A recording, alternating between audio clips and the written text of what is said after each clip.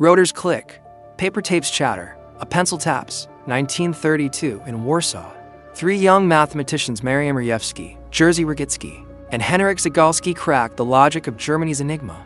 Using permutations, catalogs, and ingenuity, they build tools, the Bomba machine and Zygalski. Sheets, July 1939.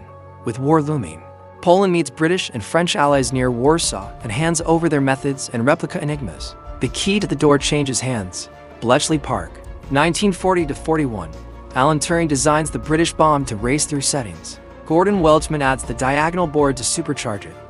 Hut 6 and Hut 8 feed on operator. Mistakes cribs, Banburismus, and sheer grind. At sea, the stakes spike.